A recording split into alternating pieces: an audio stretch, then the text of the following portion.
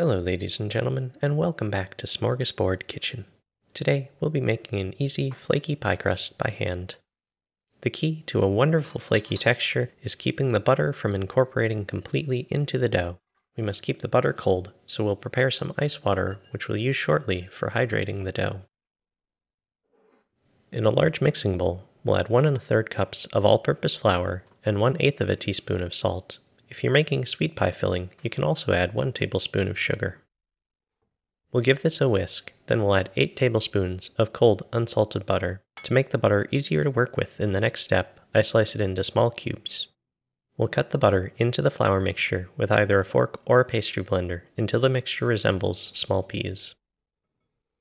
We're ready to hydrate the dough, so we'll grab the ice water we prepared earlier, and one tablespoon at a time, stirring with a fork in between each addition, we'll add about 4 to 6 tablespoons of it. We'll want to add just enough so that the dough will start coming together, but not so much that it becomes sticky.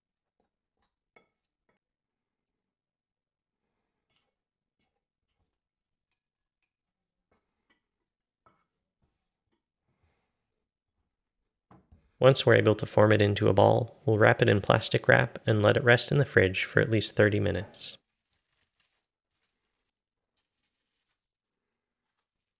After the dough is finished resting, I find it helpful to let the dough warm up for a couple of minutes before rolling, or else it will be stiff and prone to cracking. To ensure that we'll be able to form the dough into our pie dish without stretching it, we'll roll the dough until it is a few inches larger than the rim of our pie dish.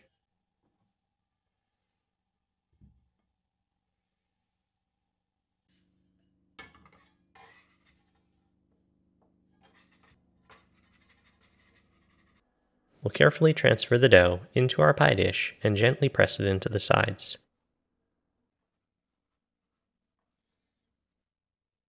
You can finish the edge however you like, but I prefer to trim it and pinch it into the classic wavy edge.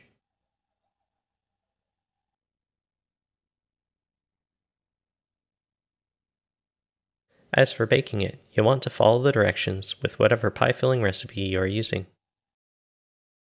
I hope you have found this video helpful and that your pies turn out fantastically. Please consider liking, sharing, and subscribing. Thanks, and see you next time.